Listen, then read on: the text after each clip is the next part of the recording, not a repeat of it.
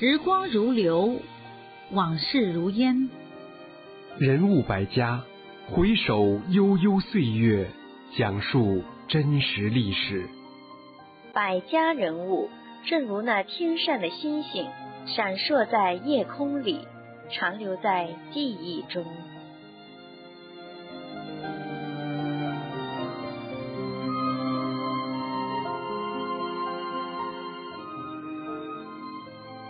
听众朋友您好，这里是希望之声国际广播电台人物百家，我是香梅，我是怀恩。听众朋友好，怀恩，嗯，你有没有发现啊？最近乒乓球又成了中国老百姓的热门话题了。是我注意到了，怎么你也喜欢乒乓球吗？不是我喜欢乒乓球，你不知道啊？中国国家乒乓球队总教练刘国梁被免职了，国乒队球员集体罢赛了。嗯，这在中国可是罕见的啊。是，我也看到了。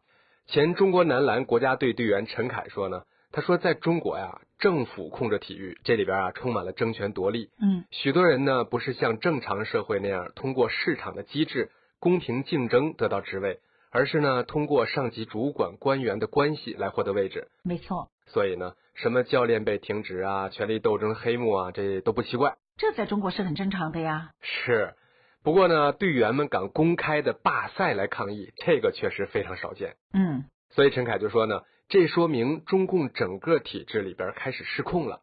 他们可能还会惩罚人，但是呢，下头的人不买那个账了，下面的人不理你了，他们不害怕你这个东西了。是啊，不过这件事情的发生呢，也勾起了人们对昔日拼坛三杰的怀念。是，荣国团、傅其芳、江永宁这几个名字呢，估计对今天的年轻人来说，应该是很陌生了。是啊。我也只是听说过他们的名字，不知道他们的故事。呃，那我来说一下哈。好，荣国团呢，曾经是一个时代的神话，他是中共建政以后呢第一位世界级的冠军。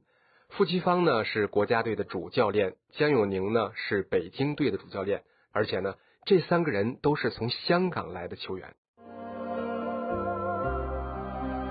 亲爱的听众朋友，人物百家正在为您讲述乒坛三杰之。乒乓球世界冠军荣国团的故事，我一直以为他们是大陆的运动员呢。不是，要不我们今天就来回顾一下他们曾经的辉煌，好吗？好啊，那咱们还是从荣国团说起哈。好，荣国团呢，在中国的乒乓事业上呢，可以说是立了大功。他不仅拿到了第一个世界男子单打和团体冠军，而且呢，还帮中国女子乒乓球队拿下了第一个团体冠军。哇，这么厉害啊！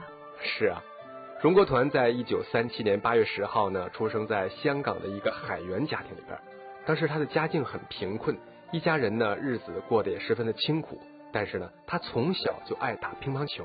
哦，少年时期呢，他独创了直拍技法，成为了街头球王。在十三岁那年呢，父亲失业，本来就困难的家境啊，陷入了生存危机。荣国团呢，只好退学到余杭当童工。他要打工哎，就不能再打乒乓球了？当然就没那么随便了。在一九五二年呢，十五岁的荣国团被香港工会联合会桌球队啊邀请参加乒乓球的表演赛。可是呢，他也因为参加这场比赛被余杭老板给炒了鱿鱼。哎呦，这代价可不小啊！是，不过呢，也算有失有得。他在十七岁那年啊，获得了香港桌球赛的冠军。哇，真的很厉害耶！是。这之后呢，他就以港澳联队的身份到访北京，而且呢，还打败了当时的中国冠军王传耀、傅奇芳等名将。他真有一股初生牛犊不怕虎的劲儿。确实是。两年以后呢，十九岁的他出战第二十三届世桌赛，战胜了日本的新科状元荻村一治郎。嗯。从那以后呢，工联会的人员就安排荣国团在工会的康乐馆负责图书，而且还陪顾客打球。荣国团的球技呢，也是越来越高超。哎，那时的香港不是英国管辖吗？他怎么跑去给中国打球了呢？嗯，是这样。当时的政治环境下呢，中国大陆的体育项目得不到西方的支持，而且呢，运动员的成绩也不被认可。哦，所以啊，时任中共体委主任贺龙就说服了二十岁的荣国团，让他到内地发展。嗯哼，就这样呢，荣国团来到了广州。他在广州体委的一次大会上立下了一个誓言。说三年夺取世界冠军，这话一出，还引起了不小的轰动。三年时间啊，这么短，他能做到吗？是啊，当时呢，有不少人跟你一样对他的誓言啊表示怀疑，认为他的身体素质并不好，也没有参加世界性比赛的经验。就这样呢，荣国团在被质疑中开启了他的征程。哦，为了让自己能够适应未来的大赛呢，他每天坚持长跑、举重、跳绳。嗯哼，半年以后啊，他变得越来越壮实，球技呢也有非常大的长进，充分掌握了抽杀削吊、拉搓推挡等技能。而且呢，他还因为技术娴熟，获得了“八臂哪吒”的美称。他已经是国家队队员了吗？不是，一九五八年呢，二十一岁的荣国团先是被选入广东省的桌球队，参加了当年的全国桌球锦标赛，而且呢，获得了男子单打的冠军。这之后呢，他就被选为国家集训队的队员。哦，在中国乒乓球队里呢，荣国团是最讲究用脑子打球的，他很擅长扬长避短。而且呢，经常琢磨对手的打法，做到知己知彼，百战百胜。那他后来有什么特别的战绩吗？当然很多了。一九五九年四月呢，荣国团参加了多特蒙德举办的第二十五届世锦赛。那场比赛呢，他先是击败了三位欧洲的大将，接着又淘汰了两颗欧亚的明星，分别是星野和比尔切克。太厉害了吧！是在半决赛里边呢，他遇上了接连挫败中国强手的迈尔斯。迈尔斯的打法呢，非常的刁钻，所以一开始啊，迈尔斯以二比一领先了荣国团。那荣国团怎么办呢？荣国团呢表现得很淡定，他以大力推挡和多变的搓球，最终呢让迈尔斯节节败退。嗯，在决赛里边呢，他又遇上了曾经九次获得世界金牌的匈牙利老将西多，这可是个挑战呐。是啊，当时在场的观众呢，已经为西多准备好庆祝的鲜花了，他们没想到。荣国团居然在落后一局的情况下，奇迹般的连扳三局，最终呢，荣国团以三比一战胜了西多，为中国夺得了第一个乒乓球男子单打的世界冠军。这可是提前一年兑现了他自己立下的三年夺得世界冠军的誓言。天哪，他简直是个乒乓天才！是，这也是中共建政以后呢，在体坛上的第一个世界级的冠军。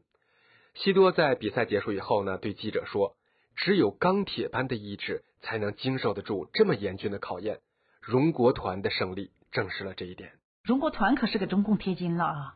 一看没错，当时啊，各种荣誉可以说是蜂拥而至。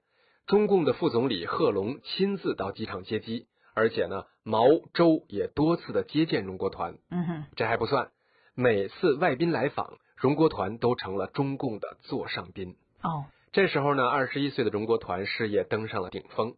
这位世界冠军呢，迅速成为中国国内许多年轻人的偶像。而且呢，全国各地的来信堆满了桌球队的传达室，还有不少追求他的少女的求爱信。说起来很有意思，球队呢还专门为他设立了一个看信班。这什么阵仗啊？是啊，当时这场面配置的呢也是够全面的。不过你还别说。荣国团呢，还真的收获了属于他自己的爱情。真的？是啊，那时候呢，荣国团认识了一位田径运动员，叫黄秀珍。嗯哼，他们俩老家呢都是广东人，而且呢，当时荣国团要代表香港回广州打一场表演赛。当时黄秀珍呢，在队友的鼓动下，还和他们一起呢去追星观看荣国团的比赛。比赛以后呢，他们相对握手，就是这一面之缘。荣国团呢，对黄秀珍可以说是一见钟情，是吗？是。后来呢，他们又一次在舞会上邂逅，荣国团呢径直走到黄秀珍的面前，说：“你怎么也到这儿来了？”后来黄秀珍说呀，一看到他走过来，心里边就砰砰直跳。看来黄秀珍也喜欢荣国团啊。是。同年五月呢，罗马尼亚的田径队来华访问，黄秀珍的田径队呢和荣国团的乒乓球队同时到了天津，这俩人再次相遇。他们俩挺有缘分的，真是。荣国团呢，通过黄秀珍的教练呀，递了一张小纸条，邀请黄秀珍晚上呢一起参加比赛后的晚会。可是不巧的是，比赛结束以后呢，这个晚会被取消了。那怎么办啊？你听着呀，荣国团呢不想失去机会，于是呢，干脆直接跑到那儿找黄秀珍，当面说晚会取消了，咱们也不用去了，咱们一起上街逛一下吧。就这样呢，他们经过这三面之缘，就开始正式确定恋爱关系了。随后不久呢，在北京的幸福大街，这两位年轻人可以说是喜结连理。后来呢，还有了一个可爱的女儿。荣国团有了幸福的家庭了，他可以大展身手，继续他的乒乓事业了。是，一九六一年呢，第二十六届世界乒乓球锦标赛在北京举行。当时呢，荣国团首次为中国队夺得男子团体冠军立下了汗马功劳。后来呢，由于技术曝光和革新等因素啊，荣国团的地位呢被庄则栋取代了。这样呢，荣国团就改任为乒乓球女队的教练。哦，那时候呢，正处在六十年代，中国乒乓球队的实力啊比不上日本。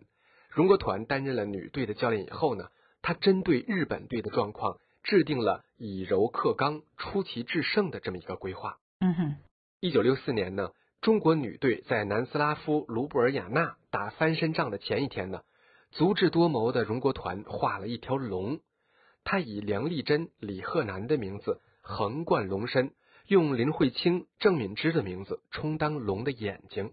他为什么要画龙呢？是这样，荣国团呢通过这幅画表达了他的战术思想。他说：“先以直拍一路攻克欧洲各队。”再由另外两块横拍呢，在最后决赛里边击败日本队。嗯哼，他的这一杰作呀，不仅鼓舞了当时中国女队的队员，而且呢，中国女队也真的按照这个战术成功的克敌制胜。这也是荣国团首次带领中国女队夺得世锦赛的团体冠军。荣国团是个难得的体育天才，不管他做运动员还是教练，都能展现他的天资聪慧。可是为什么这样一个天之骄子？最后自行了断了自己的生命呢？